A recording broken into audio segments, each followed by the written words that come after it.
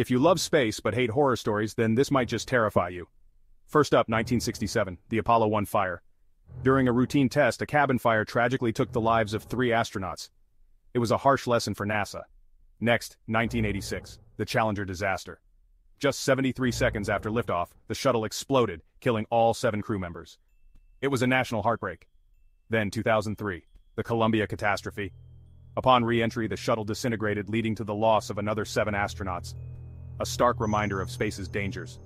Fourth, 1971, the Soyuz 11 tragedy. A sudden cabin depressurization resulted in the tragic deaths of three Soviet cosmonauts.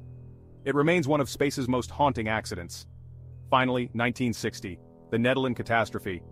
A failed rocket launch in the Soviet Union led to over 100 deaths. A grim chapter in space history. Space exploration is thrilling, but it's not without peril. Remember these heroes who paved the way. Stay curious, space enthusiasts.